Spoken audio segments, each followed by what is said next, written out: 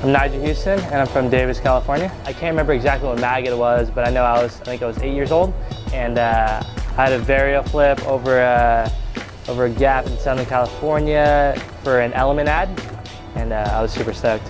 My first skateboard was a Tony Hawk board.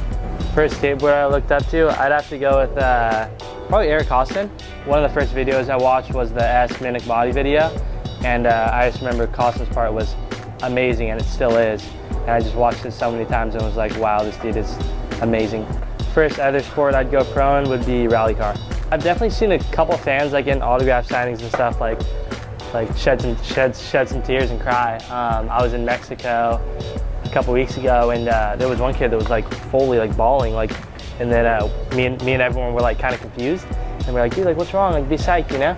And then uh, he just held up his board and it said Nyjah Huston's my idol and I just, uh, just gave, him a, gave him a hug. Um, top five places I've traveled to, I'd have to say Australia first. Place is awesome. Um, Spain is nice. France. Um, I went to South Africa last year. That was sick. Brazil last year was cool. Three things you should know about me. Let's see. Uh, I love skateboarding. Um, very competitive, but uh, at the same time, I just love having fun, chilling with my friends, and having a good time. The difference from now and back in the day, I mean, yeah, obviously skateboarding came a super long way with uh, contests like Street League and uh, skating contests for like 100 grand plus.